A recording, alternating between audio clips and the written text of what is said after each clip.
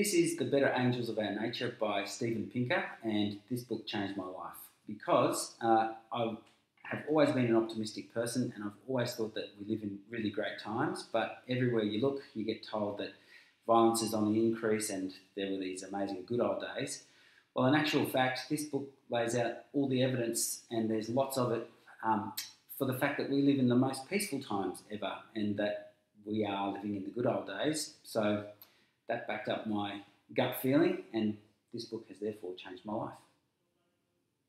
Copyright is important because without it, uh, people, authors, wouldn't be able to write and make a living out of it, and therefore we wouldn't have books. And as someone who writes them, I think it's obviously very important, but as someone who reads them as well, um, we wouldn't have half any of the great books that I've loved over the years without copyright. So I think it's extremely important that we protect copyright.